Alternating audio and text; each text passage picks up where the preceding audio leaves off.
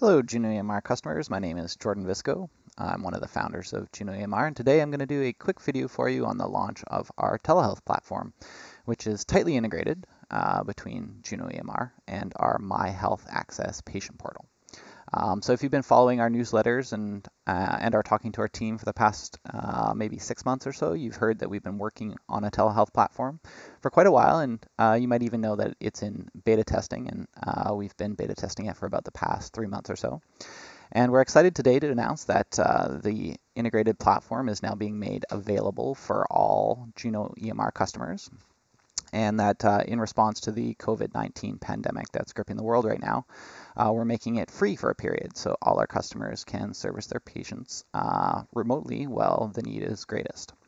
Currently, uh, we can guarantee you it'll be free up until July the 1st, so over the next three to four months while the outbreak is at its worst. Uh, everyone can keep on seeing their patients uh, however they need, whether it be in office or virtually. Um, so, First thing to note about our uh, telehealth integration is that you do need a connected My Health Access uh, patient portal account. Uh, if you're not familiar with My Health Access, it does online booking, secure messaging, and automated reminders for your Juno EMR, uh, and now telehealth as well.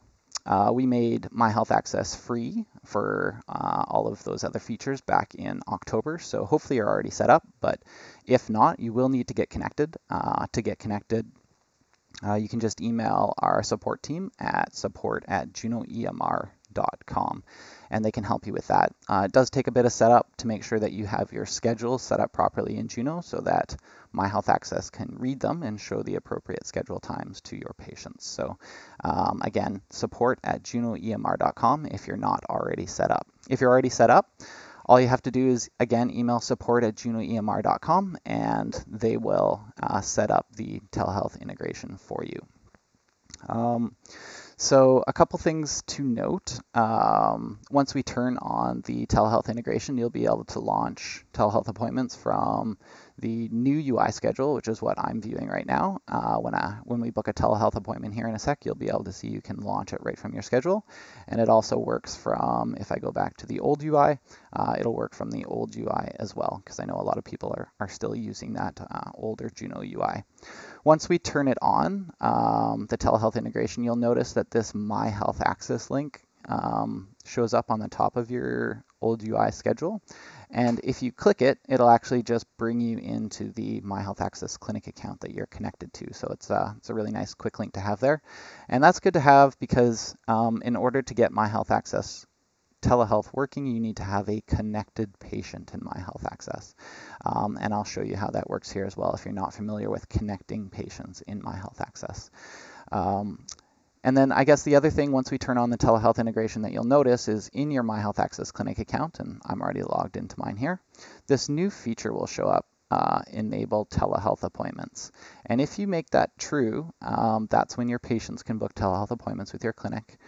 And if you scroll down, so I'm in My Health Access settings, uh, and then I'm on the e-booking tab for settings. If you scroll down a little bit to where you set up your appointment types, um, there's a new column there that will show up called telehealth. And you can turn different appointment types on or off for telehealth. So this test clinic here that I'm dealing with has a whole bunch of regular appointment types that aren't telehealth appointments. And then I've set up two different types of appointments that can be telehealth appointments. And in this way, when your patients are going and using My Health Access for online booking, they can uh, select the one that they want. So if they want to do a telehealth, they can select true for, or they can uh, select those appointments. And I'll show you how that works um, from a patient's perspective. Um, so in my health access, I'm actually logged in as a patient right now. Um, if I log out, this is what the home screen looks like. Um, in order to get patients connected with your My Health Access account, you can tell them to come to My Health Access and then sign up and get connected with your clinic. Um, I'm already signed up and connected with my test patient here, so I'm going to just log in with Jordan plus test 2 and password, and I will log in. Um, if I wasn't connected with a clinic, what I would need to do is I'd need to go to the uh, My Clinic section and I'd have to add a new clinic here. Click the plus button, and then I'd select the clinic that I want to connect with, and I'd click the connect button, and that would um, connect me to that clinic.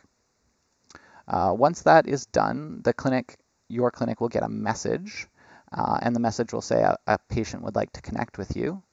And then once you've received that message, you can go, uh, you can read it here in the messages section, or you can go to the patients section. And then you can go to your unmatched patients, and you can approve these connection requests. And when you click to approve these connection requests, um, you'll have to enter the demographic ID of the patient in your Juno. So in Juno here, you'll have to search for the patient and find their demographic ID, and then you'll have to link the two. And linking those two means that the patient can start booking appointments with you, and it means that they can also now book telehealth appointments with you. So I'm already connected with my um, uh, test clinic here.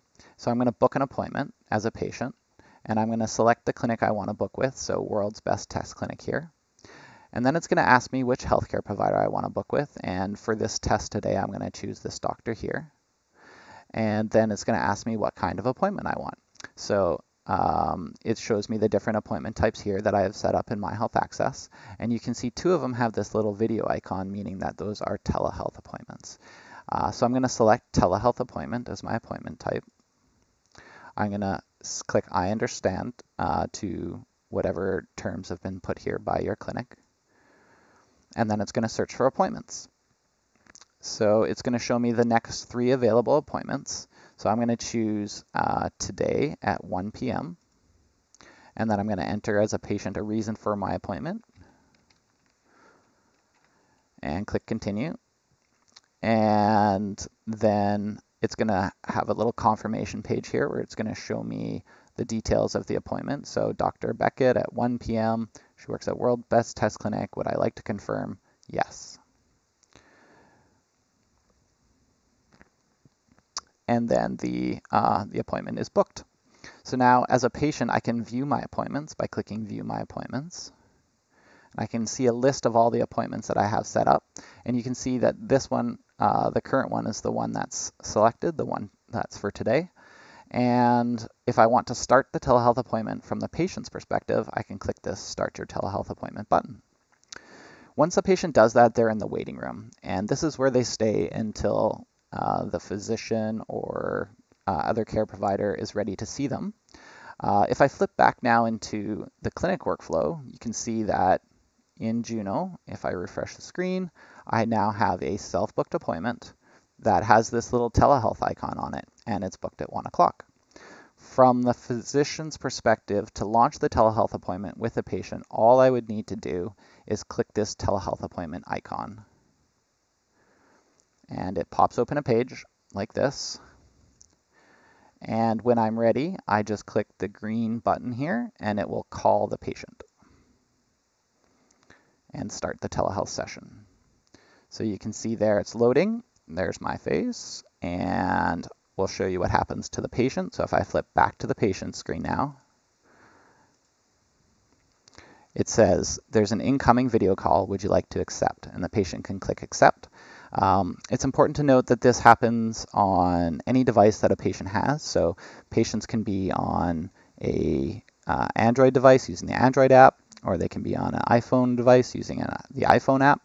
And um, this will also, when you when you click to call them, it'll also send them a push notification uh, to try and help reduce the uh, the chance that a a patient uh, will miss their appointment. So um, that all works as well. So the patient is now going to click accept and voila, I now have a uh, telehealth session ongoing. I'm getting a little bit of feedback, so I'm going to hang up here. There we go. And then uh, the appointment has ended, and I can close that page. And uh, the telehealth session is now complete.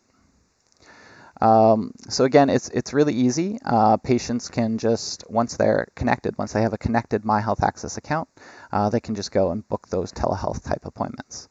Now, currently, um, if a MOA or a receptionist wanted to book a telehealth appointment for the patient, um, they cannot do that in the EMR.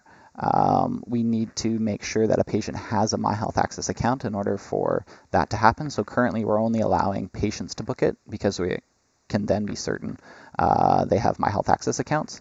Uh, within the next few days, we're going to be also launching a feature where clinics can book these appointments themselves, and it will double check to make sure that the patient has a connected My Health Access account uh, before that happens.